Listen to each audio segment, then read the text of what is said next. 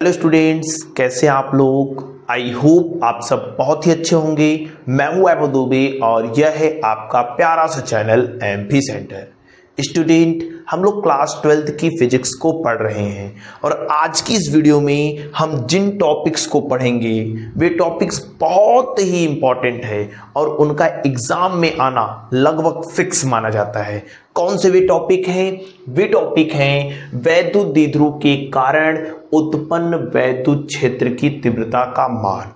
वैद्युत द्विध्रुव से रिलेटेड जितने भी टॉपिक्स आपके एग्ज़ाम में पूछे जा सकते थे, वे सभी कल वाली वीडियो में हमने क्लियर कर दिया था। आज की जो वीडियो है मोस्ट से भी मोस्ट इंपॉर्टेंट है। एकदम फिक्स माना जाता है कि यहाँ से क्वेश्चन आपके एग्ज़ाम में पाँच नंबर में पूछा ही जाएगा। ठीक है, आज हम लोग क्या पढ़ेंगे? आज हम लोग पढ़ेंगे कि वैद्युत द्विध्रुव जो है वो कितना वैद्युत क्षेत्र की तीव्रता उत्पन्न करता है, जिसमें टोटल तीन हेडिंग्स हमें पढ़नी है। पहली कंडीशन हम लोग पढ़ेंगे, अच्छी स्थिति में कितना वैद्युत क्षेत्र की तीव्रता का मान होगा। दूसरी कंडीशन में हम लोग पढ़ेंगे, निरक्षी स्थिति में वैद्युत क्षेत्र की तीव्रता का मान कितना होगा? और तीसरी कंडीशन में हम पढ़ेंगे, किसी भी बिंदु पर मतलब वह बिंदु न तो अच्छी हो, न तो निरक्षी हो, किसी भी बिंदु पर हो तो वहाँ पे वैद्युत क्षेत्र की तीव्रता का मान कितना होगा? ठीक है? अच्छी स्थिति, निरक्षी स्थिति क्या होती है? इन सब के बारे में बहुत डिटेल में आज की इस वीडियो में हम लोग डिस्कस करेंगे। तो चलिए आज की इस वीडियो को स्टार्ट करते हैं। वीडियो स्टार्ट करने से पहले एक छोटी सी रिक्वेस्ट अगर अभी तक आपने चैनल को सब्सक्राइब नहीं किया है तो प्लीज़ यार चैनल को सब्सक्राइब कर लीजिएगा। वीडियो को लाइक और शेयर नहीं किया है तो वीडियो को लाइक और शेयर भी कर दीजिएगा। अगर आपका कोई भी सुझाव है, कोई भी कमेंट है, या फिर कोई भी डाउट है, जो आप हमें भेजना चाहते हैं तो ये है हमारा Instagram I D at the rate M centre यहाँ पे आप अपने प्रश्न हमें भेज सकते हैं। अगर आपको कंप्लीट नोट्स चाहिए तो भी आप यहाँ पे जो है कांटेक्ट हमसे कर सकते हैं। डेली का डेली जो भी पढ़ाया जाता है, वो उसको Telegram channel at the rate M centre पर भेज दिया जाता है, ठीक है? अभी जस्ट चैनल ओपन हुआ है तो जैसे ही चैनल पे 100 सब्सक्राइबर हो जाएँगे मिनिमम ठीक है ना? आपको नोट्स मिलना स्टार्ट हो जाएगा, ठीक है? तो इतना काम आप फटाफट कर लीजिएगा। यहाँ पे फॉलो करके हमें मैसेज कर सकते हैं, ठीक है? और यहाँ पे नोट्स के लिए, आप डेली नोट्स के लिए ज्वाइन हो सकते हैं। तो चलिए आज की इस वीडियो को स्टार्ट करते हैं। हमारा टारगेट क्या है? वैद्युत द्विध्रुव के कारण उत्पन्न वैद्युत क्षेत्र की तीव्रता का मान निकालना। पहले कंडीशन में हम अच्छी स्थिति में वैद्युत क्षेत्र की तीव्रता का मान निकालेंगे, दूसरी कंडीशन में निरक्षी स्थिति में और तीसरी कंडीशन में किसी भी बिंदु पर। थोड़ा लंबा वीडियो है, बड़ा वीडियो है, ठीक है? आप अच्छे से लास्ट तक बने रहिएगा, कोई भी डाउट आपको नहीं रहेगा, ठीक है? तो पहली हेडिंग जो आपका इसमें बनता है, वह बनता है वैद्युत द्विध्रुव के कारण अच्छी स्थिति में वैद्युत क्षेत्र की तीव्रता। आपके एग्ज़ाम में कईयों बार ये क्वेश्चन पूछा गया है कि वैद्युत द्विध्रुव के कारण अच्छी स्थिति में वैद्युत क्षेत्र की तीव्रता का सूत्र व्युत्पादित कीजिए। ठीक है, या व्यंजक प्राप्त कीजिए। बहुत ही इंपॉर्टेंट टॉपिक है, बहुत ही इंपॉर्टेंट हेडिंग है।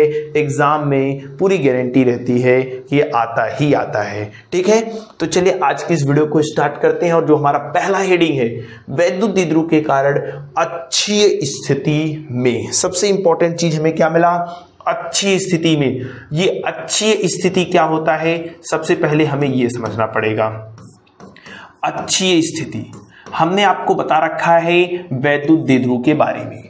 वैद्युत दिद्रु क्या होता है? जब समान परिमाण किंतु विपरीत प्रकृति के दो आवेश एक दूसरे से अल्प दूरी पर रखे हों तो इस निकाय को हम लोग कहते हैं वैद्युत द्विध्रुव हमने आपको बताया है कि वैद्युत द्विध्रुव के दोनों आवेशों के बीच की दूरी 2L ली जाती है, और कोई भी दूरी सदैव इसके मध्य बिंदु अर्थात यहाँ से मापा जाएगा।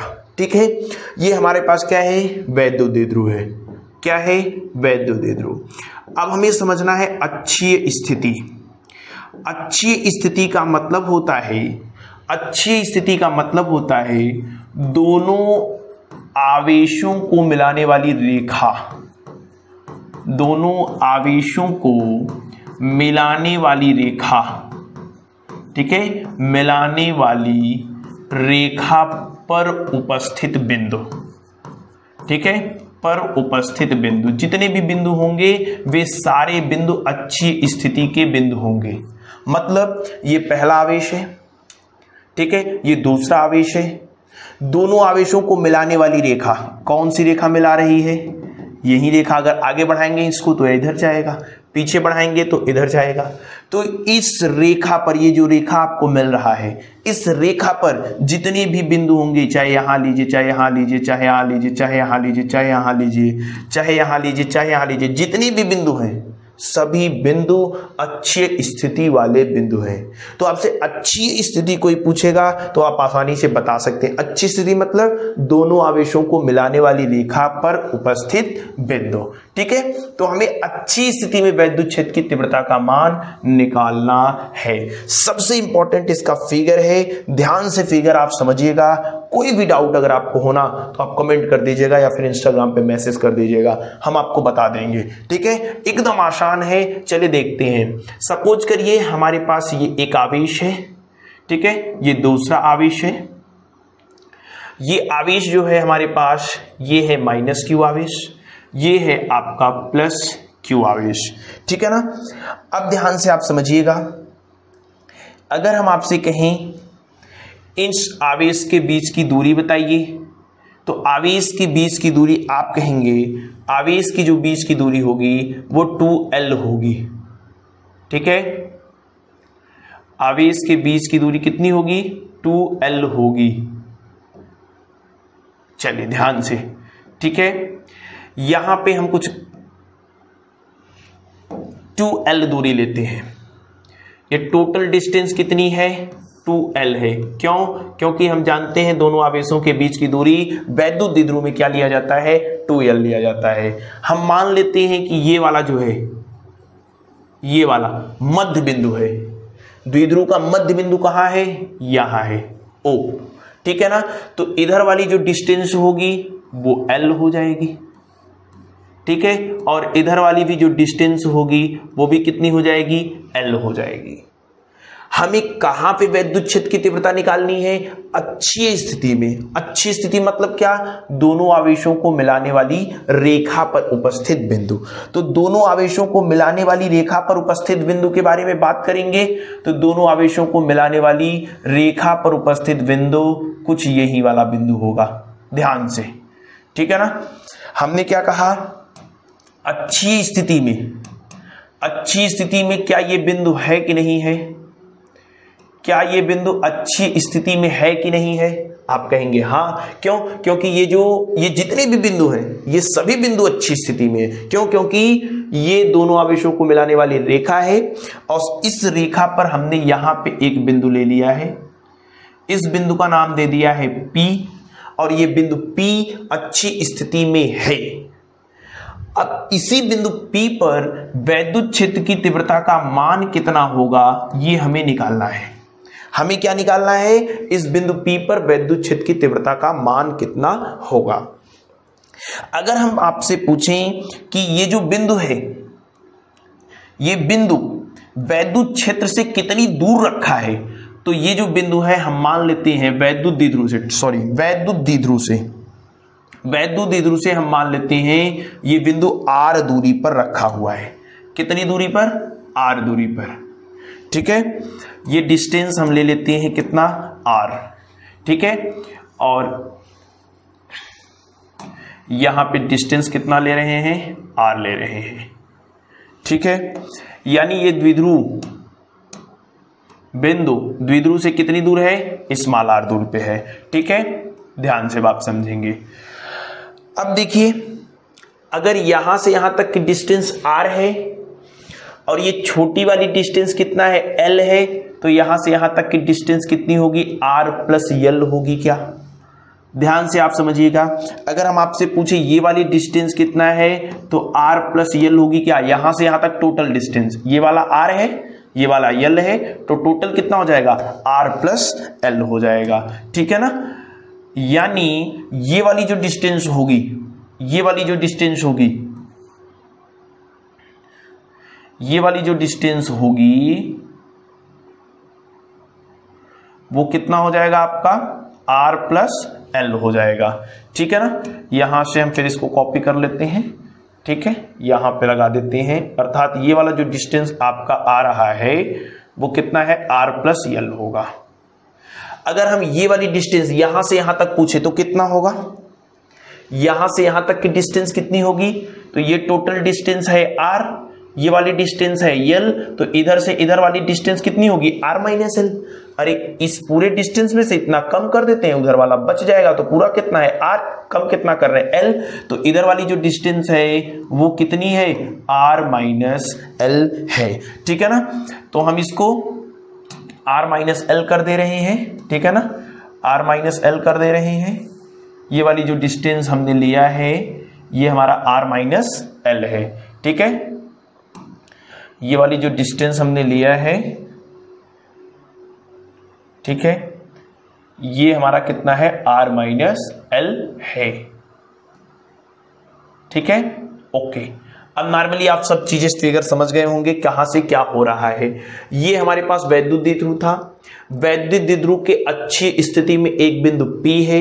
इस बिंदु P पर हमें वैद्युत क्षेत्र की तीव्रता का मान निकालना है।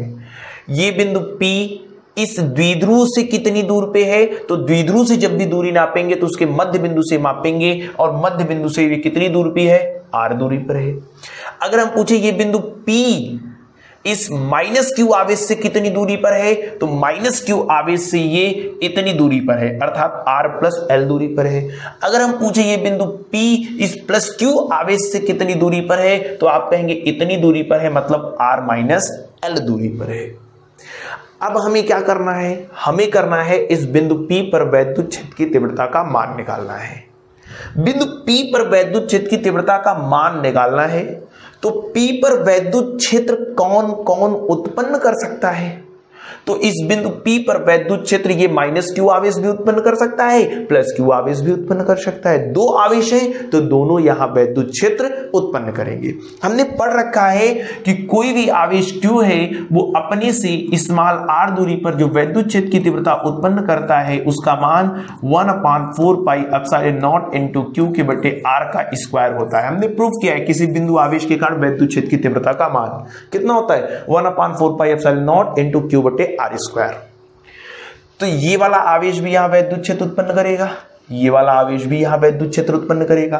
अगर हम आपसे पूछे कौन सा आवेश ज़्यादा वैद्युत क्षेत्र उत्पन्न करेगा, ये वाला कि ये वाला तो आप कहेंगे कि वैद्युत क्षेत्र की जो तीव्रता होती है वह दूरी के व्युत क्रमानुपाती होती है। मतलब दूरी बढ़ेगा तो वैद्युत क्षेत्र की तीव्रता कम होगी। अर्थात ये ये दूरी ज़्यादा है। बताइए, इससे इसकी दूरी इतनी है और इससे इसकी दूरी इतनी है। तो इन दोनों आवेशों में बिंदु P से दूर कौन है? ये वाला दूर है। इसलिए कम वैद्युत क्षेत्र उत्पन्न करेगा और ये वाला जो होगा, ये ज़्यादा वैद्युत क्षेत्र उत्पन्न करेगा। मतलब दोनों वैद्युत क्षेत्र में से माइनस क्यू जो वैद्युत क्षेत्र उत्पन्न करेगा, वो कम होगा प्लस क्यू जो वैद्युत क्षेत्र उत्पन्न करेगा, वो ज़्यादा होगा। अब वैद्युत क्षेत्र एक सदिश राशि है। वैद्युत क्षेत्र की तीव्रता एक सदिश राशि है, इसमें क्या होता है? दिशा होता है। तो चलिए बात करते हैं डायरेक्शन की। क्या डायरेक्शन है? क्या दिशा है? सबसे पहले हम मान लेते हैं कि माइनस क्यू आवेश के कारण जो वैद्युत क्षेत्र की तीव्रता है। माइनस क्यू आवेश के कारण वैद्युत क्षेत्र की तीव्रता। माइनस क्यू आवेश के कारण वैद्युत क्षेत्र की तीव्रता। माइनस क्यू आवेश के कारण वैद्युत क्षेत्र की वैद्युत क्षेत्र की तीव्रता। तो माइनस क्यू आवेश के कारण जो वैद्युत क्षेत्र की तीव्रता है, वो हम कह रहे हैं ई वन है। कितना है? ई वन है। तो ई वन का मान अगर हमसे पूछेगा तो हम फार्मूला जानते हैं। क्या जानते हैं? One upon four pi epsilon naught into q मतलब आवेश आवेश के परिमाण से मतलब होता है, चिन्ह से हमें कोई भी मतलब नहीं होता। बटे दूरी का स्क्वायर तो माइनस क्यू आवेश इस बिंदु पी से कितनी दूर है? आर प्लस यल दूर पे है, ठीक है ना? तो आर प्लस यल का होल स्क्वायर ठीक है? माइनस क्यू आवेश के कारण बिंदु पी पर, हम ऐसे लिखते हैं, बिंदु पी पर, ठीक है? बिंदु पी पर, बिंदु पी पर। बिंदु P पर वैद्युत क्षेत्र की तीव्रता। ठीक है? बिंदु P पर वैद्युत क्षेत्र की तीव्रता। कितना हो जाएगा? E1 one is equal to one upon four pi epsilon naught into q बटे आर प्लस एल का होल स्क्वायर अब डायरेक्शन की बात करते हैं। दिशा किधर होगा? तो ये माइनस क्यू आवेश है। आप जानते हैं वैद्युत बल रेखाएँ माइनस क्यू आवेश में एंट्री करती हैं, प्रवेश करती हैं। तो इसके कारण जो भी वैद्युत क्षेत्र होगा, वो कुछ इस डायरेक्शन में होगा। ध्यान से आप समझेंगे। हम इसको हल्का सा अच्छे से सिस्टम में बना देते हैं। ध्यान से आप समझिएगा, जो भी होगा वैद्युत क्षेत्र, वो इस डायरेक्शन में होगा। कौन वाला? ईवन वाला। क्यों? क्योंकि ये माइनस क्यू आवेश है और माइनस क्यू आवेश में वैद्युत बल रेखा ऐसे प्रवेश कर रही है। ठीक है? अब ध्यान से अगर हम आपसे पूछें प्लस क्यू आवेश के कारण वैद्युत क्षेत्र की तीव्रता। प्लस क्यू आवेश के कारण वैद्युत क्षेत्र की तीव्रता। तो प्लस क्यू आवेश के कारण जो वैद्युत क्षेत्र की तीव्रता होगी, उसका मान कितना होगा? प्लस क्यू आवेश के कारण बिंदु P पर वैद्युत क्षेत्र की तीव्रता का मान कितना हो जाएगा? बिंदु P पर वैद्युत क्षेत्र की तीव्रता का मान आप जानते हैं। क्या हो जाएगा? कहेंगे कि, ध्यान से आप समझिएगा, सूत्र होता है one upon four pi epsilon naught into q बटे आर स्क्वायर। आर मतलब दूरी का स्क्वायर, दूरी कहाँ से लेंगे? क्यू मतलब आवेश तो क्यू है? क्यों लिख दिया? दूरी यहाँ से यहाँ तक का। यहाँ से यहाँ तक की दूरी कितनी है? यहाँ से यहाँ तक की दूरी कितनी है? यहाँ से यहाँ तक की दूरी है आर माइनस एल इसलिए हमने यहाँ क्या किया है? आर माइनस एल का स्क्वायर किया है। बात समझ पाए कि नहीं? प्लस क्यू आवेश, अब अच्छा इसके कारण जो वैद्युत क्षेत्र की तीव्रता है, इसके कारण जो वैद्युत क्षेत्र की तीव्रता है, इसको हम ई e टू ले रहे हैं। माइनस क्यू आवेश के कारण बिंदु पी पर जो वैद्युत क्षेत्र की तीव्रता है वह ईवन e है और ईवन e है वन अपान फोर पाई अब सारे नॉट क्यू के बटे आर प्लस एल का होल स्क्वायर कोई दिक्कत नहीं है। प्लस क्यू आवेश के कारण बिंदु पी पर जो वैद्युत क्षेत्र की तीव्रता है E two is equal to one upon four pi epsilon naught into आवेश बटे दूरी का स्क्वायर दूरी कितना था? आर माइनस एल का होल स्क्वायर ईवन की डायरेक्शन इधर होगा। ई e टू का डायरेक्शन ई टू प्लस है। प्लस क्यू आवेश के कारण तो इसकी जो दिशा होगी, प्लस से बाहर निकलेगी। तो प्लस से बाहर निकलेगी मतलब प्लस से बाहर निकलेगी मतलब जो भी होगा ए टू वो इस डायरेक्शन में होगा। अगर हम आपसे पूछें E1 और ई टू में कौन ज़्यादा है, कौन कम है? E1 और ई टू में कौन ज़्यादा है, कौन कम है? तो आप कहेंगे E1 और ई टू में ई टू ज़्यादा है। ई टू ज़्यादा क्यों है? क्योंकि E2 बिंदु P के नज़दीक है। बिंदु P के नज़दीक है मतलब दूरी कम है और दूरी कम रहने पर वैद्युत क्षेत्र की तीव्रता का मान बढ़ जाता है। यानी E1 और E2 में बड़ा कौन, छोटा कौन? E2 बड़ा है E1 छोटा है। आप ऐसे भी कर सकते हैं। यहाँ पे ध्यान से देखिए one upon four pi epsilon naught one upon four pi epsilon naught same same ऊपर क्यू ऊपर क्यू सेम सेम केवल चेंज ये नीचे वाला है। तो अगर नीचे कम टोटल जो वैल्यू आएगी वो ज़्यादा आएगी। तो यहाँ पे ये कम है आर माइनस एल है, यहाँ आर प्लस एल है। तो आर प्लस एल से भाग दे रहे मतलब इवन कम आएगा। आर माइनस एल से भाग दे रहे हैं कम से भाग दे रहे हैं तो टोटल वैल्यू क्या आ जाएगी? ज़्यादा आ जाएगी। ठीक है? तो हम कह रहे हैं कि चूँकि E2 is greater than E1 E2 क्या है? E1 से बड़ा है। दो वेक्टर दो वेक्टर जब ठीक एक दूसरे के अपोजिट डायरेक्शन में काम कर रही हूँ तो उनका परिणामी वेक्टर कैसे निकाला जाता है? जब दो वेक्टर ठीक एक दूसरे के विपरीत दिशा में कार्य कर रहे हों तो उनका परिणामी वेक्टर बड़े वेक्टर में से छोटे वाले को घटा कर निकाला जाता है। जैसे अगर हम आपसे कहें कि एक लोग पाँच न्यूटन का बल इधर लगा रहे हैं, दूसरा लोग तीन न्यूटन का बल इधर लगा रहे हैं तो ये जो बॉल है, ये सब कुछ करिए बॉल है। बॉल किधर जाएगी? तो आप कहेंगे बॉल उधर जाएगी। क्यों उधर जाएगी? क्योंकि उधर ज़्यादा बल लग रहा है। अच्छा कितने से जाएगी? परिणामी बल कितना है? तो आप कहेंगे पाँच में से तीन घटा दीजिए, यानी दो न्यूटन के बल से गेंद उधर चली जाएगी। तो जब दो वेक्टर एक दूसरे के अपोजिट डायरेक्शन में कार्य कर रहे हैं तो उनका परिणामी कैसे निकलता है? उनका परिणामी निकलता है बड़े में से छोटे वाले को घटाकर। तो यहाँ दो वेक्टर ठीक एक दूसरे के अपोजिट डायरेक्शन में काम कर रहे हैं। तो परिणामी कैसे निकलेगा? बड़े में से छोटे वाले को घटा दें। कहेंगे कि अतः अतः बिंदु P पर परिणामी वैद्युत क्षेत्र। बिंदु P पर हमें कैसा परिणामी वैद्युत क्षेत्र चाहिए? तो P पर परिणामी वैद्युत क्षेत्र। ठीक है? P पर परिणामी वैद्युत क्षेत्र। इज़ इक्वल टू कितना हो जाएगा? इज़ इक्वल टू हो जाएगा E two minus E one ठीक है? E two minus E one बड़े ब्रैकेट में से, अब बड़े वेक्टर में से छोटे वाले वेक्टर को क्या करते हैं? घटा देते हैं।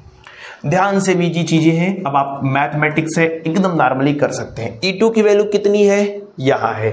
कहा है?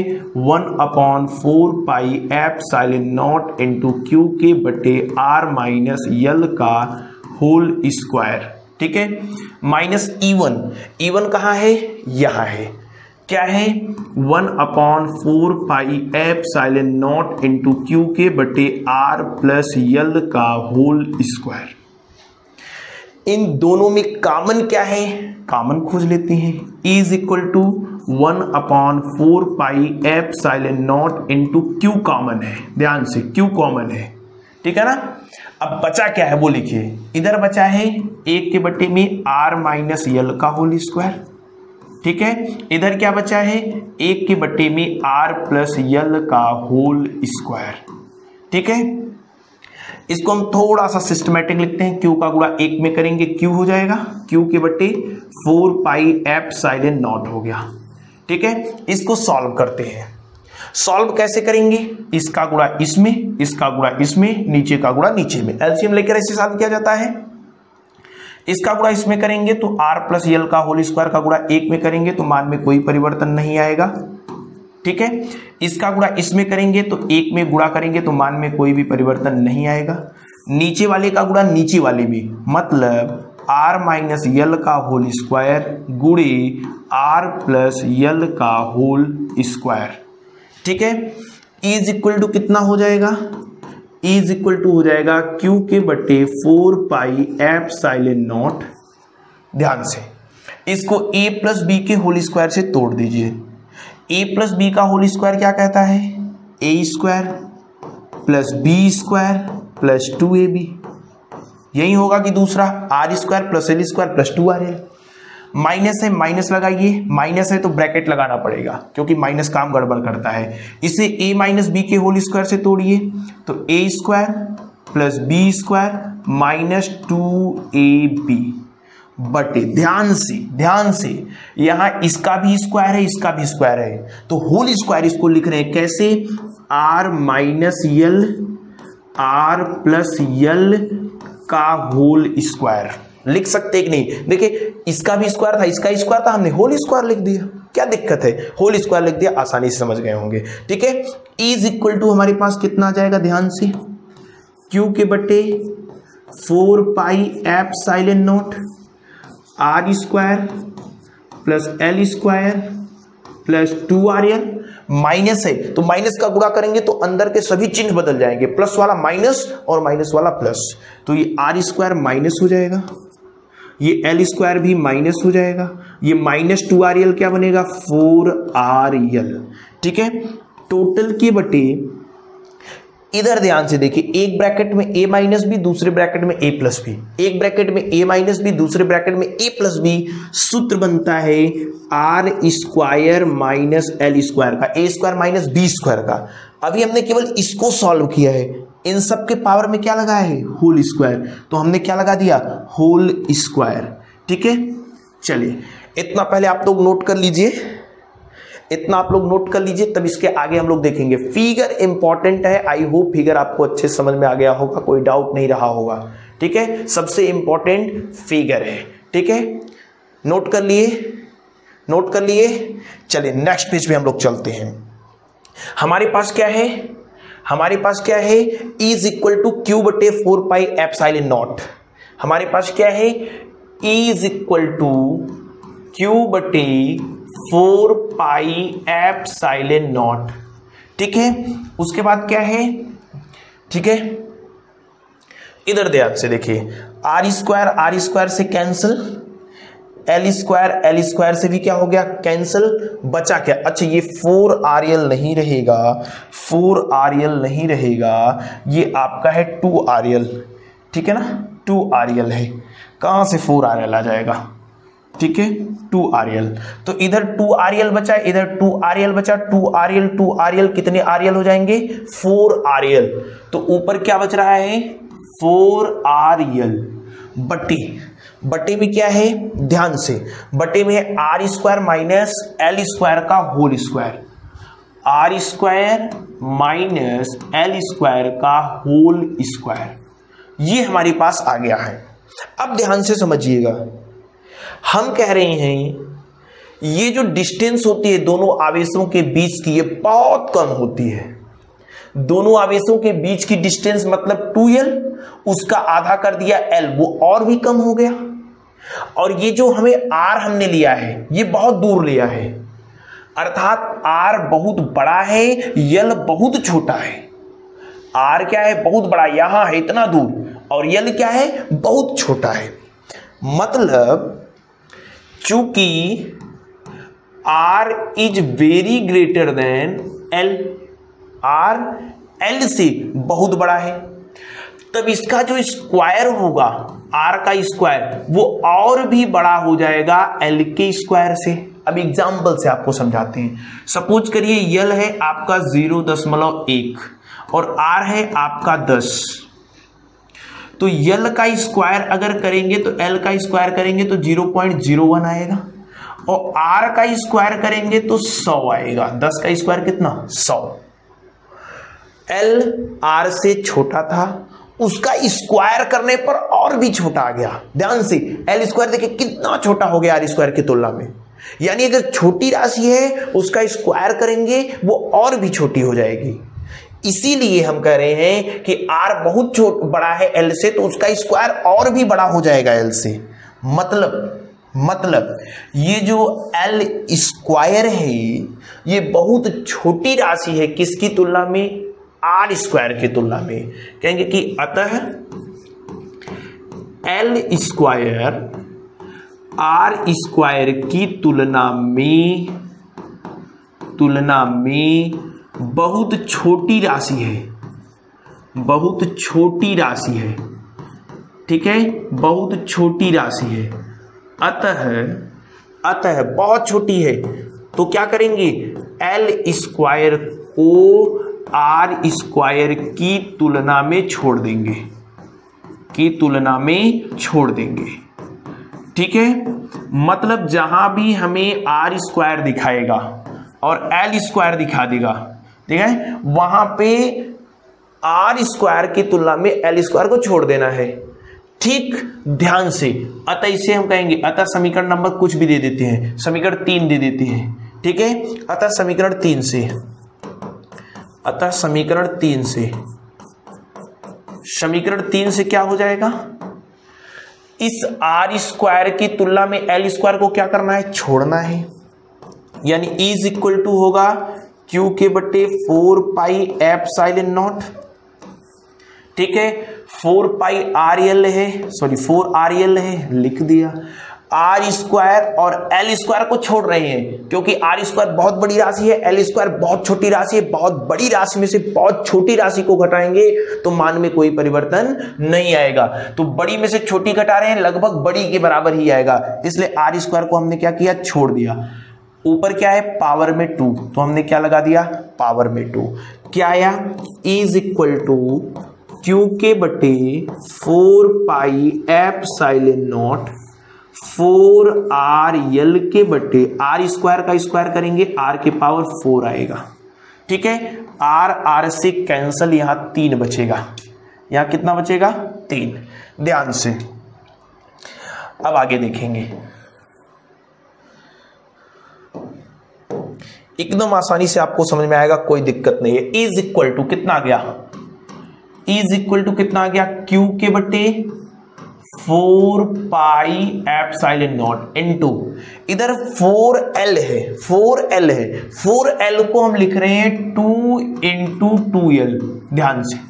फोर एल बचा था। क्या लिख दिया? टू इंटू टू एल और नीचे क्या है? आर क्यूब है। ये जो क्यू है, इसको अंदर लेकर जाते हैं। तो इधर क्या बचेगा? One upon four pi epsilon naught into ये दो रहने देते हैं। ये जो क्यू बचा हुआ है, अब लिखते हैं। क्यू इंटू टू एल ये वाला क्यू यहाँ लाकर रख दिया। क्यू इंटू टू एल बटे r q is equal to कितना हो जाएगा? इज़ इक्वल टू हो जाएगा आपका one upon four pi epsilon naught q into two l q into two l द्विध्रुव आगुण होता है। कल ही हमने आपको पढ़ाया था, P होता है। Q इंटू टू एल क्या होता है? P होता है। बटे क्या है? आर क्यू ये जो आया आपका, ये अच्छी स्थिति में वैद्युत क्षेत्र की तीव्रता का मान है। अच्छी स्थिति में वैद्युत क्षेत्र की तीव्रता का मान है। ठीक है? तो अच्छी स्थिति में वैद्युत क्षेत्र की तीव्रता का मान कितना होता है? Is equal to one upon four pi epsilon naught into two p बटे आर क्यू ठीक है? अगर हम आपसे पूछे डायरेक्शन आप हमें बताइए। दिशा। तो दिशा बहुत ही आसानी से आप बता सकते हैं। दिशा। हमने आपको बताया था कि E1 और E2 में जो बड़ा होगा, उधर ही जाएगा। तो E1 और E2 में बड़ा कौन है? E2 यानी दिशा किधर होगी? E2 वाली दिशा होगी। E2 मतलब किधर से किधर? माइनस क्यू आवेश सी प्लस क्यू आवेश की ओर। दिशा किधर होगी? माइनस क्यू आवेश सी प्लस क्यू आवेश की ओर। अर्थात ऋणावेश सी ऋणावेश सी धनावेश की ओर। ऋणावेश सी धनावेश की ओर। ठीक है? जो परिणामी वैद्युत क्षेत्र है, उसकी दिशा क्या है? ऋणावेश से धनावेश की ओर है। नोट कर लीजिए। एकदम आसान है। सबसे पहले आपको यहाँ से नोट करना है, ठीक है? वैद्युत द्विध्रुव के कारण अच्छी स्थिति में वैद्युत क्षेत्र की तीव्रता का मान कितना है? हमने आपको फिगर अच्छे से समझाया, कोई भी डाउट आपको नहीं रहा होगा, ठीक है? उसके बाद ये पूरा आपको नोट कर लेना है, ठीक है? वीडियो को पॉज करके नोट कर लीजिए, आसानी से कोई दिक्कत आपको नहीं होगी, ठीक है? चलिए, अब इसके बाद हम लोग पढ़ेंगे बहुत ही मोस्ट इंपॉर्टेंट टॉपिक वह है वैद्युत द्विध्रुव के कारण निरक्षी स्थिति में वैद्युत क्षेत्र की तीव्रता का मान। ये जो आपने फ़र्स्ट अभी पढ़ा, अच्छी स्थिति में वैद्युत क्षेत्र की तीव्रता का मान, और ये जो है निरक्षी स्थिति में वैद्युत क्षेत्र की तीव्रता का मान, बहुत ही इंपॉर्टेंट है एग्ज़ाम में ज़रूर आते हैं। ठीक है ना? तो ये भी बहुत ही इंपॉर्टेंट है, अच्छे से आप लोग पढ़ लीजिए, समझ लीजिए। इसके बाद वाला जो है ना किसी भी बिंदु पर वैद्युत क्षेत्र की तीव्रता का मान, वो कभी कभी रेयर केसेस में आता है, लेकिन इन दोनों के आने के चांसेस हाई होते हैं एग्ज़ाम में। ठीक है? तो वैद्युत द्विध्रुव के कारण निरक्षी स्थिति में वैद्युत क्षेत्र की तीव्रता का मान क्या होता है, सबसे पहले हम लोग जानेंगे निरक्षीय स्थिति क्या है। निरक्षी स्थिति का मतलब होता है कि सपोज़ करिए ये हमारे पास वैद्युत द्विध्रुव है। वैद्युत द्विध्रुव मतलब दो आवेश हैं। दोनों की प्रकृति सेम सेम है कि अलग अलग अलग अलग अल्प दूरी पर रखे होते हैं। अब इसके मध्य बिंदु पर, सपोज़ करिए द्विध्रुव का मध्य बिंदु ओ है। इस मध्य बिंदु पर आप लंब डाल दीजिए और इस लंब पर जितने भी बिंदु होंगे, वे सभी बिंदु निरक्षीय स्थिति वाले बिंदु होंगे। तो निरक्षीय स्थिति का मतलब है, निरक्षीय स्थिति का मतलब है कि मध्य बिंदु पे ठीक है ना? द्विध्रुव के कहा? मध्य बिंदु पर। द्विध्रुव की मध्य बिंदु पर। ध्यान से आप अच्छी और निरक्षी के बारे में जानते रहिएगा। मध्य बिंदु पर खींची गई खींची गई लंब रेखा पर उपस्थित बिंदु। खींची गई लंब रेखा पर उपस्थित बिंदु। ठीक है ना? लंब रेखा पर उपस्थित बिंदु। ठीक है?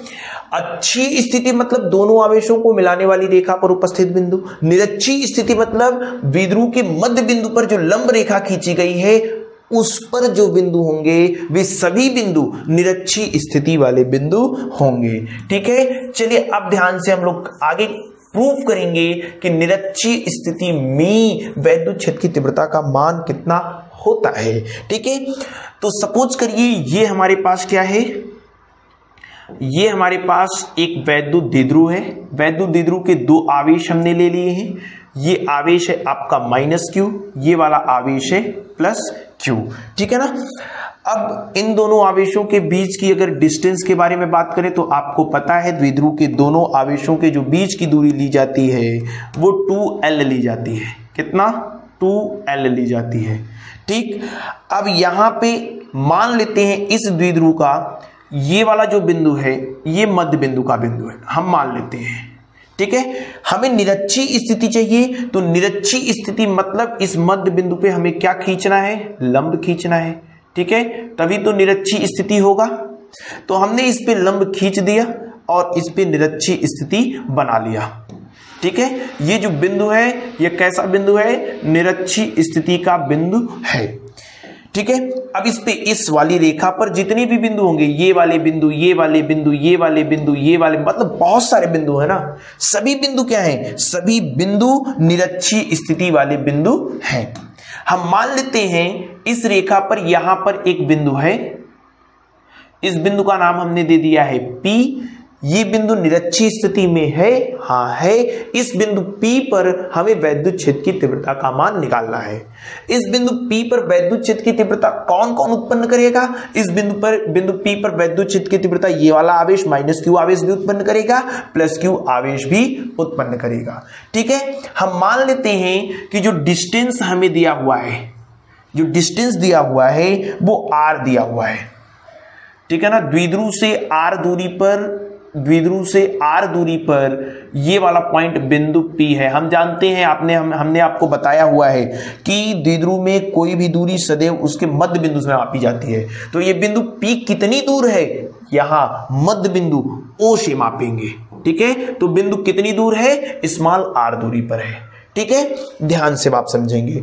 ये माइनस क्यू आवेश यहाँ कितना वैद्युत क्षेत्र उत्पन्न करेगा? अगर हमें निकालना है तो माइनस क्यू आवेश से इस बिंदु P के बीच की हमें दूरी चाहिए। तो पहले हम दूरी के बारे में बात कर लेते हैं, ठीक है? माइनस क्यू आवेश के कारण यहाँ पे जो भी डिस्टेंस बन रहा है, उसको पहले क्लियर करते हैं। माइनस क्यू आवेश के कारण जो डिस्टेंस हमारा बनेगा, ठीक है? उसको हम लोग ले लिए। चलिए, अब ध्यान से देखिए, ये प्लस क्यू आवेश भी यहाँ पे विद्युत क्षेत्र उत्पन्न करेगा। तो प्लस क्यू आवेश से ये बिंदु पी कितनी दूर है? चलिए उसके बारे में बात कर लेते हैं, ठीक है? ध्यान से। अब यहाँ से यहाँ तक का जो डिस्टेंस होगा, ठीक, कुछ ऐसा होगा। अभी आप एकदम क्लियरली आसानी से समझ पाएँगे, कोई भी आपको दिक्कत नहीं होगी। अब ध्यान से समझिएगा, ये वाली जो डिस्टेंस है, ये वाली जो डिस्टेंस है, ये एल है। क्योंकि आप जानते हैं, दोनों आवेशों के बीच की दूरी कितनी होती है? टू एल तो इधर वाली जो डिस्टेंस होगी, वो कितनी होगी? एल होगी। ठीक है? ये डिस्टेंस यहाँ से यहाँ तक, अगर हम आपको यहाँ पे क्लियर करें, ठीक है ना? ये वाला जो डिस्टेंस है आपका, अब आपको अच्छे से दिखाई देगा। ठीक है? ये वाली डिस्टेंस यहाँ से यहाँ तक आर है अगर इसका कलर हम चेंज करने का प्रयास करें, ठीक है ना? तो कलर अगर हम चेंज करें कलर शायद से चेंज नहीं हो पाएगा। चलिए ठीक है, कोई बात नहीं। अब ध्यान से आप समझिएगा, इस बिंदु P पर कौन कौन वैद्युत क्षेत्र उत्पन्न कर सकता है? इस बिंदु P पर वैद्युत क्षेत्र उत्पन्न कर सकता है ये माइनस क्यू आवेश और ये प्लस क्यू आवेश। माइनस क्यू आवेश कितना वैद्युत क्षेत्र अगर उत्पन्न करेगा तो हमें यहाँ से यहाँ तक की दूरी चाहिए, यानी हमें ये डिस्टेंस चाहिए। तो डिस्टेंस निकालते हैं। सपोज़ करते हैं, ये वाला जो बिंदु है इसको हमने नाम दिया ए ये वाला जो बिंदु है, इसको नाम दिया बी ये लंब रेखा है। लंब रेखा है मतलब पी ए ओ एक समकोण त्रिभुज है।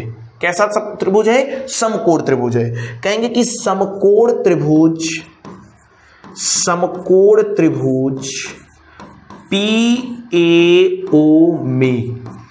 अब पाइथागोरस प्रमेय लगा देते हैं। समकोण त्रिभुज में तो पाइथागोरस प्रमेय लगता है। पाइथागोरस प्रमेय सी। पाइथागोरस प्रमेय सी। पाइथागोरस प्रमेय क्या कहता है? पाइथागोरस प्रमेय कहता है कि कर्ण का स्क्वायर बराबर होता है, लंब का स्क्वायर प्लस बेस का स्क्वायर। कर्ण कौन है? कर्ण कौन है? नब्बे अंश के सामने वाला कर्ण होता है। कर्ण मतलब एपी है। ठीक है? एपी है। जितना ये आएगा, उतना ये भी आएगा। क्यों? क्योंकि ये एल ये आर ये एल ये आर सेम सेम कंडीशन तो जितना एपी आएगा, उतना ही बीपी आएगा। तो एपी का square is equal to p p मतलब परपेंडिकुलर परपेंडिकुलर मतलब लंब। लंब कितना है? आर का स्क्वायर बी मतलब बेस बेस कितना है? एल का स्क्वायर ये स्क्वायर हटेगा तो इधर क्या आएगा? अंडर में आएगा। तो अंडर में कितना आ जाएगा? आपका r square plus l square कोई दिक्कत नहीं है। ध्यान से। एक एक स्टेप हम लोग करते चलेंगे। आपको कोई भी डाउट नहीं होगा। ठीक है? अगर हम आपसे पूछें एपी निकाल लिया आपने। ठीक इसी प्रकार से पी भी निकालेंगे पाइथागोरस प्रमेय लगा के इस समकोण त्रिभुज में। तो इसी प्रकार से, लेकिन हमें निकालना नहीं, हम डायरेक्ट लिखेंगे, इसी प्रकार से।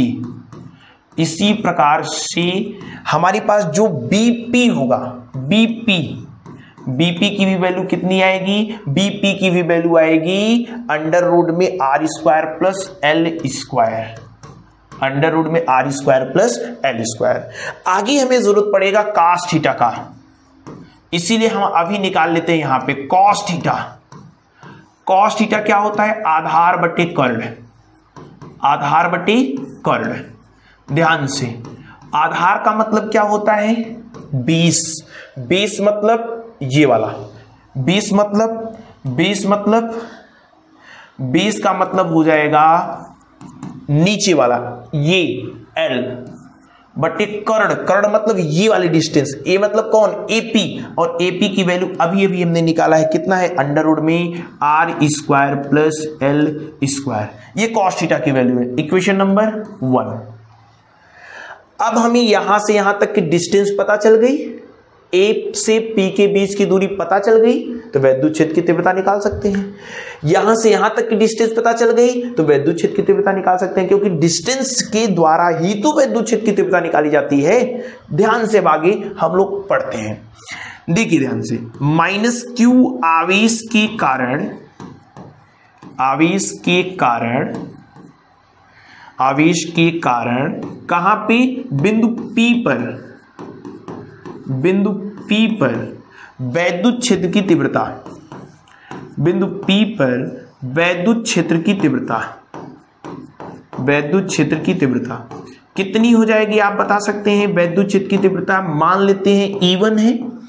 E one is equal to हो जाएगा one upon four pi epsilon naught into आवेश। आवेश क्या है? क्यू हमें परिणाम से मतलब है चिन्ह से कोई मतलब नहीं, बटे दूरी का स्क्वायर तो माइनस क्यू से कहा की दूरी? बिंदु पी से। माइनस क्यू से बिंदु पी की दूरी मतलब एपी और एपी कितना है? अंडर रूट में r square plus l square ये तो हमने लिखा किसकी? दूरी का स्क्वायर स्क्वायर कर दिया। यहाँ पे हमें मिला है अंडर रूड स्क्वायर कैंसल यानी इवन की जो वैल्यू आएगी E one is equal to आएगा one upon four pi epsilon naught into q के बटे r square plus l square ठीक है? इक्वेशन नंबर टू ये क्या आया है? माइनस क्यू आवेश के कारण वैद्युत क्षेत्र की तीव्रता का मान। अब इसमें दिशा है, वैद्युत क्षेत्र की तीव्रता सदिश राशि है। तो सदिश राशि है तो दिशा है। दिशा किधर है? दिशा माइनस क्यू आवेश में प्रवेश करती है। तो माइनस क्यू आवेश में प्रवेश करती है मतलब जो भी दिशा होगा, वो कुछ ऐसा होगा। ईवन की दिशा कुछ ऐसी होगी, ध्यान से देखिए ईवन में प्रवेश कर रहा है। अब आगे बढ़ते हैं, हम बात करते हैं किसके कारण वैद्युत क्षेत्र की तीव्रता। हम बात करते हैं किसके कारण वैद्युत क्षेत्र की तीव्रता। बात करते हैं प्लस क्यू आवेश के कारण वैद्युत क्षेत्र की तीव्रता। ठीक है? तो प्लस क्यू आवेश के कारण प्लस क्यू आवेश के कारण, प्लस क्यू आवेश के कारण बिंदु P पर वैद्युत क्षेत्र की तीव्रता। बिंदु P पर वैद्युत क्षेत्र की तीव्रता दो ही आवेश हैं और दो ही आवेश यहाँ वैद्युत क्षेत्र उत्पन्न कर सकते हैं। अगर तीसरा आवेश होता तो वो भी वैद्युत क्षेत्र की तीव्रता उत्पन्न करता, वो भी निकालते, तब परिणाम ही निकालते।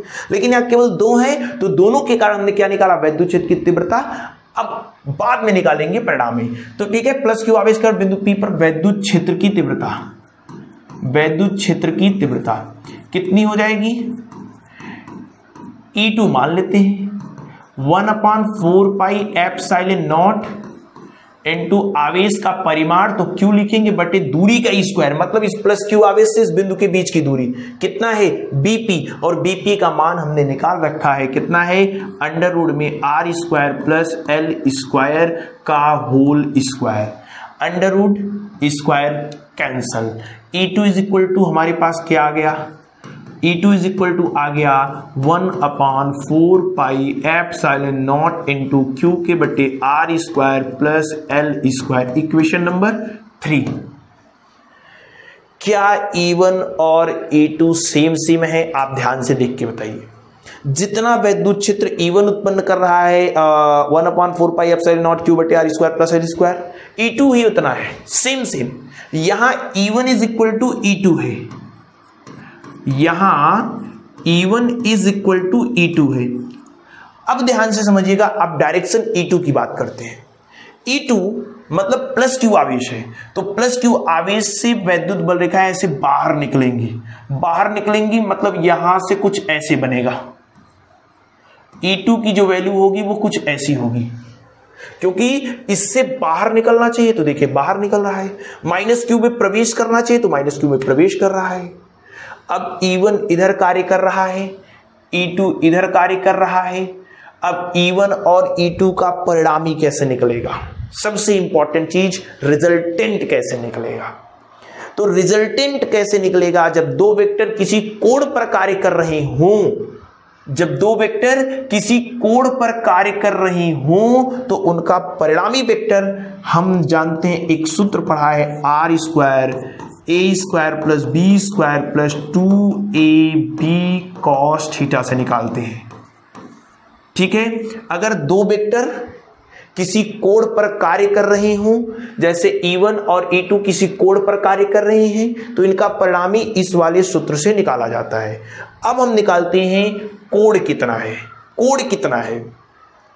हम मान लेते हैं ये वाला कोण है थीटा। ये वाला कोण कितना है? थीटा है।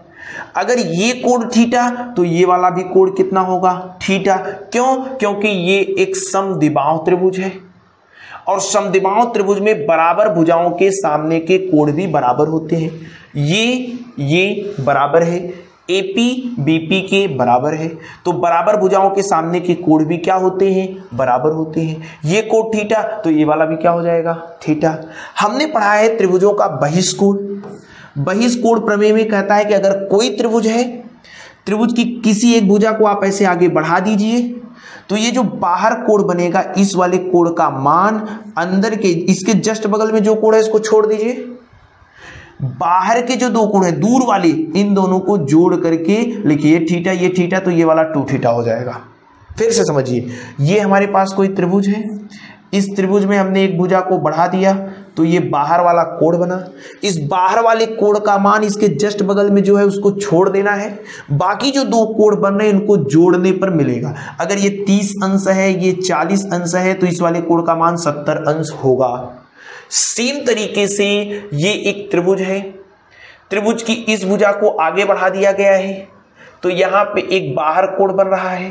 इस बाहर वाले कोण का मान दूर के दोनों कोण इसके जस्ट बगल वाले कोण छोड़ेंगे, दूर के दोनों कोण को जोड़ के वो बराबर होगा। यानी थीटा थीटा कितना होगा? थीटा थीटा, ये जो कोण होगा, ये टू थीटा होगा। यानी E1 और E2 E1 और E2 किस कोण पे काम कर रहे हैं? E1 और E2 थीटा कोण पर काम कर रहे हैं। ठीक है? टू थीटा कोण पर। E1 और E2 किसके बीच में काम कर रहे हैं? दोनों के बीच का कोण कितना है? Two theta. ओके। कहेंगे कि अतः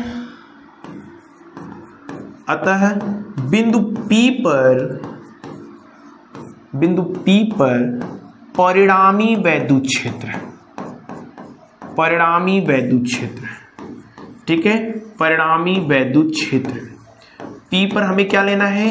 परिणामी वैद्युत क्षेत्र। परिणामी वैद्युत क्षेत्र कैसे निकलेगा? हमने आपको बताया, जब किसी कोण पर कार्य करते हैं तो उनका परिणामी वैद्युत क्षेत्र इस वाले सूत्र से निकलता है। E one square plus E two square plus two E one E two cos theta theta मतलब कोण। और कोण कितना है यहाँ पे? टू थीटा है। क्या E1 और E2 बराबर हैं हाँ E1 और E2 बराबर हैं तो E1 की जगह E2 लिखा जा सकता है और E2 की जगह E1 लिखा जा सकता है यानी E1 स्क्वायर और E2 की जगह क्या लिख देते हैं E1 ही लिख देते हैं क्योंकि दोनों क्या है बराबर है जहाँ जहाँ E2 दिखेगा वहाँ वहाँ क्या लिख दे रहे हैं E1 लिख दे रहे हैं यानी E इज़ इक्वल टू क्या हो जाएगा E is equal to E square E square two E square ठीक है, यहाँ E1 का गुणा E1 में करेंगे टू E1 का स्क्वायर फिर क्या हमारे पास आया?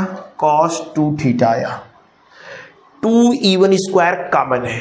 नेक्स्ट पेज पे इसको कॉमन करेंगे। टू E1 स्क्वायर कॉमन करेंगे तो ये क्या बचेगा? One plus cos two theta बचेगा। ध्यान से। यानी जो E की वैल्यू आ रही है, वो आ रही है अंडर रूड में।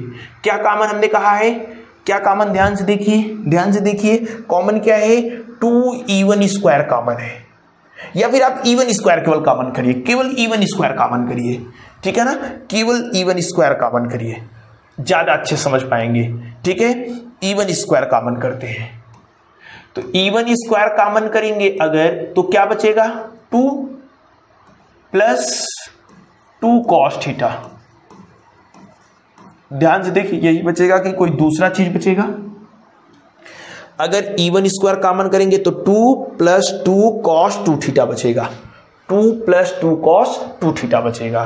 ध्यान से अब एकदम आसानी से आप लोग कर पाएँगे, कोई दिक्कत नहीं है। ठीक है? E one square two plus two cos theta cos two theta का सूत्र होता है कॉस टू थीटा का सूत्र होता है two cos square theta minus one ये कॉस टू थीटा का सूत्र है, ये आप जानते रहिए। ठीक है ना? कॉस टू थीटा का सूत्र क्या होता है? Two cos square theta minus one यानी इज़ इक्वल टू कितना हो जाएगा? इवन स्क्वायर ठीक है? टू प्लस दो का गुणा दो में करेंगे चार कॉस स्क्वायर थीटा माइनस दो ये दो दो से क्या हो गया? कैंसल हो गया. इज़ इक्वल टू कितना हो जाएगा? इवन स्क्वायर इवन स्क्वायर इधर क्या बचा है? फोर कॉस स्क्वायर थीटा अब सबको अंडर रूट में से बाहर निकाल लीजिए इवन स्क्वायर बाहर निकलेगा। इवन चार बाहर निकलेगा। टू कॉस स्क्वायर बाहर निकलेगा। कॉस थीटा अब इवन और कॉस थीटा का मान रख दीजिए। इवन इवन की वैल्यू कितनी है? इवन की वैल्यू कितनी है? इवन की वैल्यू आप यहाँ पे देख रहे हैं। कितना है? One upon four pi epsilon naught into q के बटे r square plus l square ठीक है?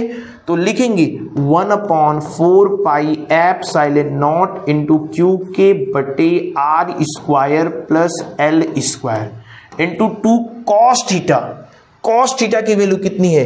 कॉस थीटा की वैल्यू हमने कितनी निकाल रखी है? ठीक है? कॉस थीटा की वैल्यू कितनी है? कॉस थीटा की वैल्यू है एल के बटे अंडर रूड में r square plus l square ठीक है? एल के बटे अंडर रूट में r square plus l square ठीक है? अब इसको सॉल्व करेंगे रिज़ल्ट आ जाएगा. One upon four pi epsilon naught into q into two l ऊपर क्या है हमारे पास? क्यू इंटू टू एल इधर क्या है? R square plus l square ठीक है? इधर क्या है? R square plus l square करड़ी में करड़ी में हम लिख दे रहे हैं, घात में एक बटे दो. करड़ी को क्या लिख दे रहे हैं? घात में एक बटे दो। कोई दिक्कत नहीं है। करड़ी हटेगा तो घात में एक बटे दो लग जाएगा। इज़ इक्वल टू कितना आ गया? इज़ इक्वल टू कितना आ गया? One upon four pi epsilon naught into q into two l q into two l को हमने नाम दिया p r square plus l square यहाँ घात एक है, यहाँ घात एक बटा दो है। तो घात में आधार समान रहने पर घात क्या होता है? जुड़ जाता है। तो r square plus l square जोड़ेंगे घात तो एक में एक बटा दो जोड़ेंगे तो कितना आएगा? एक में एक बटा दो जोड़ेंगे तो तीन बटा दो आएगा। हमने आपको बताया था जस्ट इसके पहले वाले में, चूँकि r is very very greater than l this implies that r square is very very very greater than l square अगर आर एल से बहुत बड़ा है तो स्क्वायर स्क्वायर और भी बड़ा हो जाएगा। मतलब मतलब एल स्क्वायर को आर स्क्वायर की तुलना में, की तुलना में छोड़ देंगे। क्या कर देंगे? छोड़ देंगे। छोड़ दें? छोड़ दें? ओके। क्या हो जाएगा? इज़ इक्वल टू क्या हो जाएगा? इज़ इक्वल टू हो जाएगा one upon four pi epsilon naught into p बटे एल स्क्वायर को छोड़ना है। तो आर स्क्वायर के घाते तीन बटा दो। दो दो से कैंसल इज़ इक्वल टू क्या आएगा? One upon four pi epsilon naught into p के बटे आर क्यू ये है निरक्षी स्थिति में वैद्युत क्षेत्र की तीव्रता का मान। कितना आसान तरीके से हमने आपको टोटल प्रूफ कराया है। आसानी से आप समझ गए होंगे, आपको कोई भी डाउट नहीं रहा होगा। ठीक है? कितना आसान तरीके से। सबसे पहले हमने आपको क्या बताया? सबसे पहले हमने आपको बताया निरक्षी स्थिति क्या होता है। मध्य बिंदु पर जो भी लंब रेखा खींची गई, उस पर जितने भी बिंदु होंगे, वो निरक्षी स्थिति के बिंदु होंगे। ठीक है? ये पूरा डायग्राम हमने आपको बना के अच्छे से समझाया। पाइथागोरस प्रमेय लगा करके हमने ये डिस्टेंस ये डिस्टेंस निकाला। माइनस क्यू आवेश के कारण वैद्युत क्षेत्र की तीव्रता इतनी प्लस क्यू आवेश के कारण वैद्युत क्षेत्र की तीव्रता इतनी है। यहाँ हमने देखा ई वन ई टू बराबर है। जब दो वेक्टर किसी कोण पर कार्य कर रहे हो तो उनका परिणामी हम लोग इस वाले सूत्र से निकालते हैं। हमने मान रखा सॉल्व किया, आसानी से आ गया। नोट कर लीजिए वीडियो को पॉज करके नोट कर लीजिए, ठीक है? वीडियो को पॉज करके नोट कर लीजिए, एकदम आसान है। अगर हम आपसे पूछे, दिशा क्या है? डायरेक्शन तो दिशा क्या होगी? दिशा क्या होगी? दिशा। ध्यान से देखिए, एक वेक्टर E1 इधर कार्य कर रहा है, एक वेक्टर E2 इधर कार्य कर रहा है तो जो डायरेक्शन होगा, जो रिजल्टेंट आएगा, वो इसके बीच में ऐसे कहीं आएगा। और बीच में चूँकि अगर E1 बड़ा होता तो ये E1 की ओर झुक जाता। अगर E2 बड़ा होता तो ये E2 की ओर झुक जाता। E1 E2 तो बराबर है तो न इधर झुकेगा, न उधर झुकेगा, यानी एकदम बीचों बीच में होगा। यानी ये ऐसे होगा। ऐसे मतलब कैसे होगा? किधर से किधर? प्लस क्यू से माइनस क्यू की ओर। प्लस क्यू से, देखिए, इधर से ऐसे जा रहा है, यानी प्लस क्यू से माइनस क्यू की ओर, और द्विध्रुव के समांतर होगा। यानी जो दिशा होगी द्विध्रुव के समांतर, द्विध्रुव के समांतर, द्विध्रुव के समांतर, minus q sorry, plus q से माइनस क्यू की ओर, माइनस क्यू की ओर, ये डायरेक्शन हो जाएगा। ठीक है? नोट कर लीजिए आप लोग। नोट कर लीजिए। एकदम आसान है। यहाँ से नोट करना स्टार्ट करिए, ठीक है? निरक्षी स्थिति में वैद्युत क्षेत्र की तीव्रता का मान कितना है? ठीक है? नोट कर लीजिए। एकदम आसान है, कोई भी डाउट आपको नहीं होगा। आसानी से आप कर सकते हैं। इसके बाद हम लोग पढ़ते हैं हमारा जो एक लास्ट टॉपिक बचा हुआ है, जो बहुत तो एग्ज़ाम में नहीं पूछा जाता है, लेकिन सेलेबस में है, इसलिए इसको हम लोग कर लेते हैं। वो कौन सा टॉपिक है? वैद्युत द्विध्रुव के कारण किसी भी बिंदु पर वैद्युत क्षेत्र की तीव्रता का मान। हमने अच्छी स्थिति में वैद्युत क्षेत्र की तीव्रता का मान कितना होता है? निकाल लिया। हमने निरक्षी स्थिति में वैद्युत क्षेत्र की तीव्रता का मान कितना होता है? निकाल लिया। अगर कोई बिंदु न तो अच्छी स्थिति में हो, न तो निरक्षी स्थिति में हो, तब अगर हमें वैद्युत क्षेत्र की तीव्रता का मान निकालना है, तब हम कैसे निकालेंगे? जैसे ये माइनस क्यू आवेश है ये प्लस क्यू आवेश है, ठीक है?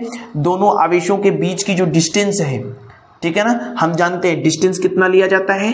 डिस्टेंस लिया जाता है टू एल ठीक है? दोनों आवेशों के बीच की जो डिस्टेंस है, वो हमने ले लिया है टू एल ओके? अब कोई पॉइंट दे दिया है सपोज़ करिए पॉइंट हमें यहाँ दे दिया है, ये एक पॉइंट दिया है पॉइंट है P, ठीक है? यह पॉइंट P इस द्विध्रुव से द्विध्रुव से मतलब मध्य बिंदु से कोई भी दूरी मापेंगे तो कहाँ से मापेंगे? मध्य बिंदु से मापेंगे। द्विध्रुव से मान लेते हैं कितनी दूरी पर है? ये जो है द्विध्रुव से कितनी दूरी पर है? ये द्विध्रुव से मान लेते हैं स्मॉल आर दूरी पर है। ठीक है ना? अब ये जो पॉइंट है, ये न तो अच्छी स्थिति में है, ठीक है? न तो अच्छी स्थिति में है और न ही निरक्षी स्थिति में है। तब वैद्य उच्छेद की तीव्रता का मान कैसे निकालेंगे? अच्छी स्थिति में रहता सुत लगाते आ जाता। निरक्षी स्थिति में रहता सुत लगाते आ जाता। लेकिन ये पॉइंट जो हमें दिया हुआ है, ये न तो अच्छी स्थिति में है, न तो निरक्षीय स्थिति में है। तब वैद्युत क्षेत्र की तीव्रता का मान कैसे निकालेंगे? ध्यान से अब आप समझेंगे। बहुत ही इंपॉर्टेंट टॉपिक है और इसका सबसे इंपॉर्टेंट फिगर है। जो फिगर समझ गया, आसानी से, एकदम आसानी से इसको कर जाएगा। कोई भी दिक्कत नहीं आएगी। ध्यान से देखिएगा। ये माइनस क्यू आवेश है, ये प्लस क्यू आवेश है। हम जानते हैं कि वैद्युत द्विध्रुव में हमेशा आता है द्विध्रुव आघूर्ण। ठीक है ना? वैद्युत द्विध्रुव में क्या आता है? वैद्युत द्विध्रुव में आता है द्विध्रुव आघूर्ण। ठीक है? अगर वैद्युत द्विध्रुव है तो वैद्युत द्विध्रुव आघूर्ण भी होगा, जिसकी दिशा माइनस क्यू आवेश से प्लस क्यू आवेश की ओर होती है। ठीक है? तो ये वैद्युत द्विध्रुव है, इसमें दिशा है, दिशा क्या है? माइनस क्यू आवेश से प्लस क्यू आवेश की ओर। ध्यान से। यानी, यहाँ पे हमने बना दिया है, द्विध्रुव आघूर्ण स्मॉल पी अर्थात, इस स्मॉल पी का मान कितना होगा? अरे, इसको ही तो हम यूज़ करते आ रहे हैं। पी स्मॉल पी बराबर क्या होता है? क्यू इंटू टू एल दोनों आवेश में से किसी एक आवेश का गुणनफल आवेश का परिमाण और दोनों आवेशों के बीच की दूरी का गुणनफल। अब इस P को, जो कि सदिश राशि है, दो पार्ट में तोड़ देते हैं। इसका जो पहला पार्ट है, वो उस डायरेक्शन में करेंगे जिस डायरेक्शन में ये बिंदु है। तो पहला पार्ट उस डायरेक्शन में, जिस डायरेक्शन बिंदु है तो बिंदु किधर है? इधर है। तो इसका जो पहला पार्ट हम लोग करेंगे, वो पहला पार्ट इधर करेंगे। ठीक है? ये इसका हमने पहला पार्ट कर दिया। पहला पार्ट जो आया इसका, वो इस डायरेक्शन में है। ध्यान से आप देखेंगे। ये मान लेते हैं एक चीज़ कि ये जो बिंदु है, ये द्विध्रुव के साथ थीटा कोड पर स्थित है। किस कोड पे? थीटा कोड पे। इस पी का पहला पार्ट हमने इधर किया। अब जो दूसरा पार्ट होगा, उस पहले वाले पार्ट के परपेंडिकुलर होगा, क्योंकि वेक्टरों के वियोजन में हमने पढ़ा है कि जो दो पार्ट होते हैं, दोनों पार्ट एक दूसरे के परपेंडिकुलर होते हैं। तो जो दूसरा इसका पार्ट होगा, वो दूसरा पार्ट कुछ ऐसा होगा। ठीक है ना? दूसरा पार्ट कुछ ऐसा होगा। क्यों ऐसा होगा? क्योंकि दोनों पार्ट एक दूसरे के क्या होते हैं? परपेंडिकुलर होते हैं। अगर हम आपसे पूछे, इस वाले पार्ट का मान बताइए। इस वाले पार्ट का मान बताइए। तो इस वाले पार्ट का जो मान होगा, इस वाले पार्ट का जो मान होगा, वो होगा पी कॉस थीटा क्यों? क्योंकि ये कॉस में जाएगा, क्योंकि इस वाले पार्ट के साथ क्या लगा हुआ है? थीटा जिसके साथ थीटा लगा होता है, वो कॉस में जाता है। जिसके साथ थीटा नहीं लगा है, वो साइन में जाता है। यानी इधर वाला जो पार्ट होगा, वो साइन में जाएगा। पी साइन थीटा हो गया। इस पी के दो पार्ट हमने कर दिए। एक पी कॉस थीटा दूसरा पी साइन थीटा अब आप आगे ध्यान से समझिएगा। ये P है P है मतलब द्विध्रुव आघूर्ण है। और द्विध्रुव आघूर्ण तभी उत्पन्न हो सकता है जब द्विध्रुव हो। यहाँ पे एक द्विध्रुव आघूर्ण उत्पन्न हो रहा है, ठीक है? जिसका डायरेक्शन इस साइड में है। मतलब यहाँ एक आघूर्ण, द्विध्रुव ज़रूर होगा। और उस द्विध्रुव का जो पॉजिटिव सिरा होगा, वो इधर होगा। ठीक है? पॉजिटिव सिरा किधर होगा? इधर। क्यों? क्योंकि जो डायरेक्शन होता है वो माइनस क्यू से प्लस क्यू आविश की ओर होता है। इस पी के हमने दो पार्ट किए। एक पी कॉस्टिटा एक पी साइन थीटा हमने देखा इस पी कॉस्टिटा में पी आ रहा है। पी मतलब द्विध्रुव आगुड़ द्विध्रुव आगुड़ तभी आ सकता है जब वहाँ पे वैद्युत द्विध्रुव हो। यानी यहाँ पर कोई ना कोई वैद्युत द्विध्रुव है और उस वैद्युत द्विध्रुव का प्लस सिरा इधर होगा। क्यों? क्योंकि जो दिशा होता है, वो माइनस से प्लस की ओर होता है। यानी यानी यहाँ पर एक द्विध्रुव है, यहाँ पर एक द्विध्रुव है, ठीक है? द्विध्रुव है और जिसकी डायरेक्शन हमने दिखा दी, कुछ यहाँ पे। ठीक है? यानी यहाँ पे एक आवेश हमारे पास आया, जो माइनस क्यू के रूप का लिया होगा और इधर एक आवेश रहा होगा प्लस क्यू, तभी तो डायरेक्शन ऐसे बन रहा है। ठीक है? अब यहाँ पे इसी प्रकार से ये वाली कंडीशन भी है हमारे पास। इधर P साइन टीटा मतलब P है P है मतलब कौन होगा? द्विध्रुव होगा द्विध्रुव होगा। यानी उसका प्लस वाला सिरा इधर होगा। क्यों प्लस वाला सिरा इधर होगा? क्योंकि माइनस क्यू से प्लस क्यू की ओर होता है। यानी यहाँ भी हमें एक द्विध्रुव आया। ठीक है? ध्यान से आप समझिए। एकदम इजी से हम आपको समझा देंगे। कोई भी डाउट नहीं होगा। ठीक है ना? ध्यान से। अब आप इजिली समझ पा रहे होंगे। हमें दो चीज़ें मिली। हमें दो चीज़ें मिली। क्या? ये हमारे पास क्या मिला? ये हमारे पास एक द्विध्रुव मिला।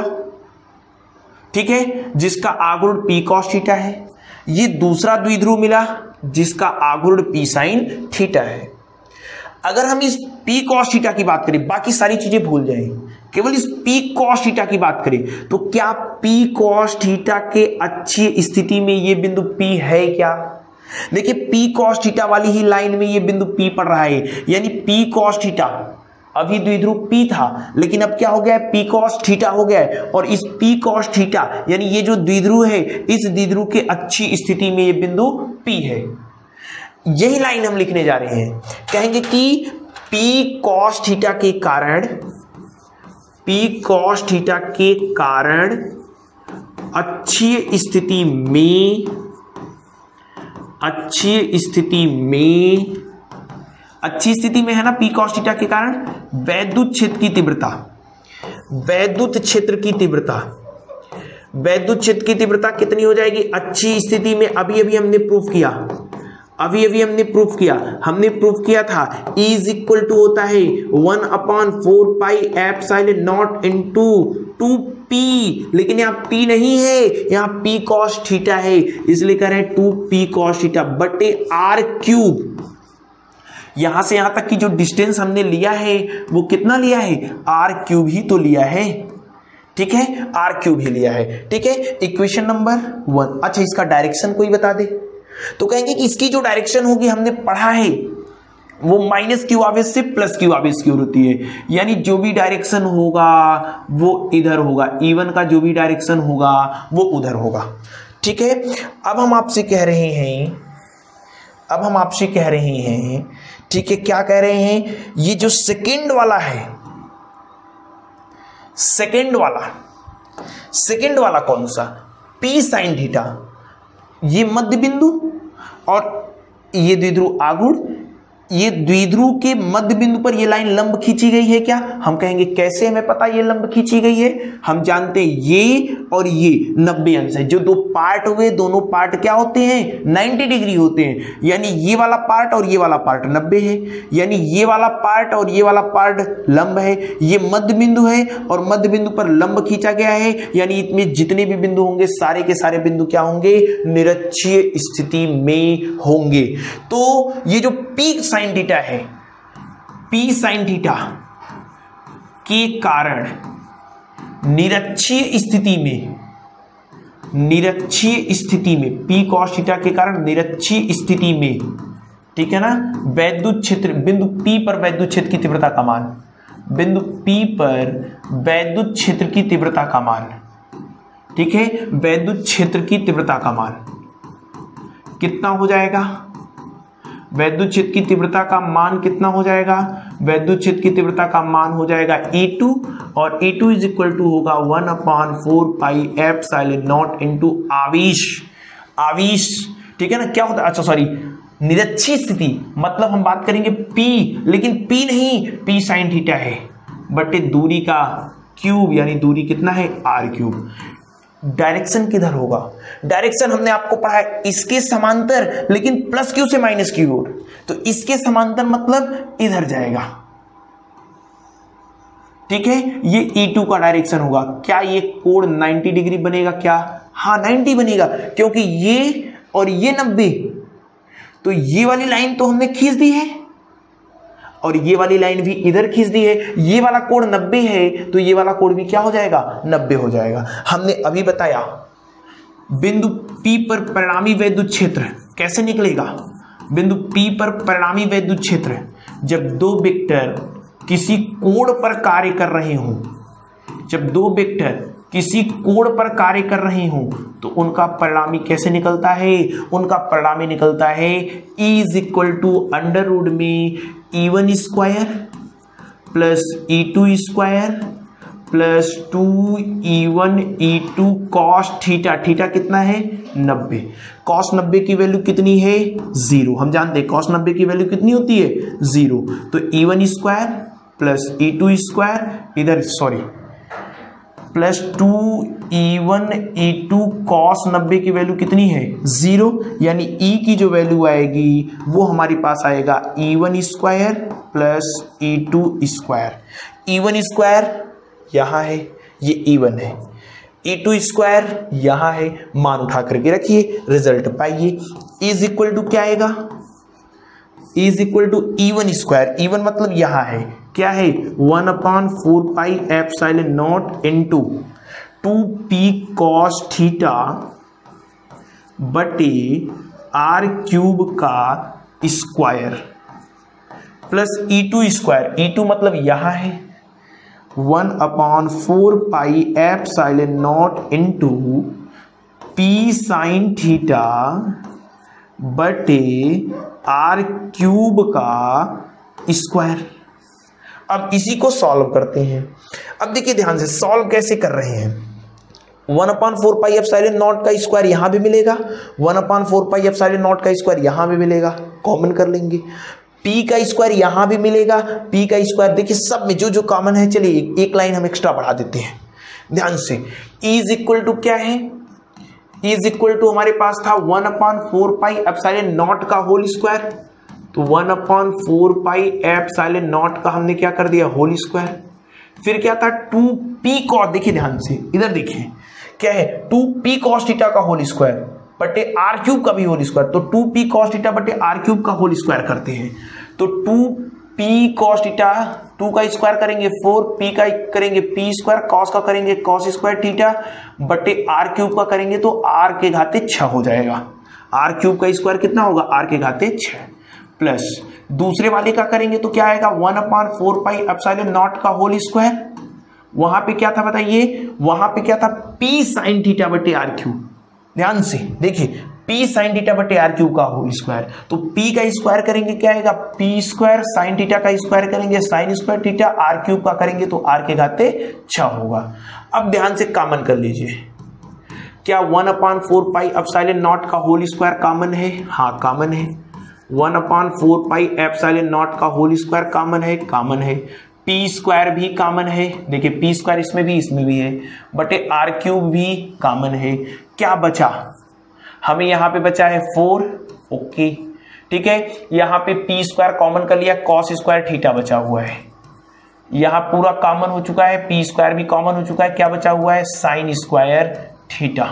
ठीक है? और कुछ बचा है? और कुछ बचा है, यहाँ पे ध्यान से देख लीजिए one upon four pi epsilon naught का होल स्क्वायर पी यहाँ पी स्क्वायर हमने कॉमन कर लिया है तो फोर कॉस स्क्वायर थीटा बटे अच्छा आर क्यूब नहीं है। यहाँ पे आर क्यूब नहीं है, ठीक है? आर के घाते छ होगा, ठीक है? आर के घाते हमने छ कॉमन लिया है। तो यहाँ पे क्या बचा है? Four cos square theta okay ठीक है? यहाँ पे क्या बचेगा? साइन स्क्वायर थीटा बिल्कुल सही है। ध्यान से इज़ इक्वल टू कितना हो जाएगा? वन अपॉन फोर पाई एफ़ एप्साइलन नॉट का होल स्क्वायर बाहर निकल जाएगा। वन अपॉन फोर पाई एफ़ एप्साइलन नॉट होगा। पी स्क्वायर बाहर निकल पाएगा। पी होगा आर के घाते छह बाहर निकलेगा। आर क्यूब होगा। अंदर क्या बचा है? वो देखिए। Four cos square theta plus sine square theta. अब इन सबको हम कॉस के टर्म में लिखना चाहते हैं। सबको कॉस के टर्म में लिखना चाहते हैं। तो क्या हो जाएगा? One upon four pi epsilon naught, यहाँ साइन स्क्वायर थीटा है। ठीक है? इंटू पी के बटे आर क्यूब। ठीक है? Four cos square theta. Sine square theta को लिख सकते हैं। One minus cos square theta, ये सूत्र है, आपने पढ़ा है। साइन स्क्वायर थीटा क्या होता है? One minus cos square theta. यानी is equal to one upon four pi epsilon naught into p के बट्टे आर क्यू क्या हो जाएगा? ध्यान से देखिए। फोर कॉस स्क्वायर में थीटा में से एक कॉस स्क्वायर थीटा जाएगा। ठीक है? तो क्या बनेगा? Three cos square theta plus one ठीक है? इसको हम सिस्टमेटिक लिख देते हैं। एकदम आसानी से। ठीक है ना? एकदम नॉर्मली आपको समझ में आ जाएगा। ध्यान से। इज़ इक्वल टू कितना हमारे पास आ गया? इज़ इक्वल टू आ गया one upon four pi epsilon naught into p के बटे आर क्यू ठीक है? और यहाँ पे लिख रहे हैं one plus three cos square theta ठीक है? ये हमारा है निरक्षीय स्थिति में वैद्युत क्षेत्र की तीव्रता का मान, ठीक है ना? निरक्षी स्थिति में वैद्युत क्षेत्र की तीव्रता सॉरी किसी भी बिंदु पर क्षेत्र की तीव्रता इससे आप, इस वाले सूत्र से आप अच्छी स्थिति और निरक्षी स्थिति वाला भी प्रूफ कर सकते हैं आसानी से। हम यहाँ पे आपको दिखा देते हैं। ध्यान से देखिए, ये जो हमारा फार्मूला पहले इसको नोट कर लीजिए, किसी भी बिंदु पर वैद्युत क्षेत्र की तीव्रता का मान कैसे निकालेंगे? सबसे इंपॉर्टेंट क्या है इसका फिगर फिगर हमने आपको बना दिया, अच्छे से समझा दिया, ठीक है। उसके बाद नॉर्मली इसका प्रूफ था प्रूफ भी हमने कर दिया। अगर हम आपसे पूछें, ध्यान से अच्छी स्थिति के लिए, अच्छी स्थिति के लिए, अच्छी स्थिति के लिए क्या हो जाएगा? ध्यान से आप देखिएगा। अच्छी स्थिति के लिए, अच्छी स्थिति के लिए मतलब ये जो बिंदु P है, ये यहाँ कहीं होना चाहिए था, यहाँ कहीं पे। अच्छी स्थिति के लिए मतलब दोनों आवेशों को मिलाने वाली रेखा कर उपस्थित बिंदु। तो यहाँ पे ये वाला बिंदु इधर होता तो थीटा की वैल्यू कितनी होती? ज़ीरो होती। यानी अच्छी स्थिति के लिए थीटा इज़ इक्वल टू क्या हो जाएगा? ज़ीरो हो जाएगा। अतः ई e की वैल्यू कितनी हो जाएगी? One upon four pi epsilon naught into p के बटे आर क्यू ठीक है? क्या है? One plus one plus three cos square theta theta मतलब कितना? ज़ीरो इज़ इक्वल टू कितना हो जाएगा? One upon four pi epsilon naught into p के बट्टे आर के और कॉस ज़ीरो की वैल्यू कितनी? वन यानी तीन एक चार. चार बाहर निकलेगा तो कितना हो जाएगा? दो हो जाएगा. चार बाहर निकलेगा तो कितना हो जाएगा? दो हो जाएगा. ये टू पी बटे आर क्यू और आपने यही तो पढ़ा है? यही तो पढ़ा है अच्छी स्थिति में वैद्युत क्षेत्र की तीव्रता का मान यही तो आता है ठीक है? यानी वहाँ से भी आप निकाल सकते हैं, यहाँ से भी आप निकाल सकते हैं। ध्यान से, निरक्षी स्थिति के लिए। निरक्षी स्थिति के लिए। हम जानते हैं निरक्षी स्थिति के लिए थीटा कितना हो जाएगा? नब्बे। क्योंकि निरक्षी स्थिति में ये वाला बिंदु इस, इधर होना चाहिए था। इधर मतलब कितना होना चाहिए था? कोड नब्बे होना चाहिए था। ठीक है? तो थीटा बराबर कितना हो जाएगा? थीटा बराबर कितना हो जाएगा? नब्बे। और थीटा बराबर नब्बे रखेंगे तो क्या हो जाएगा? हम एक लाइन स्टार्ट करते हैं। One upon four pi epsilon naught into क्या है? पी के बट्टे आर क्यूब। ठीक है? One plus three cos square theta. यानी one plus three cos square theta नहीं, थ्री कॉस स्क्वायर ज़ीरो। और कॉस ज़ीरो का मान कितना होता है?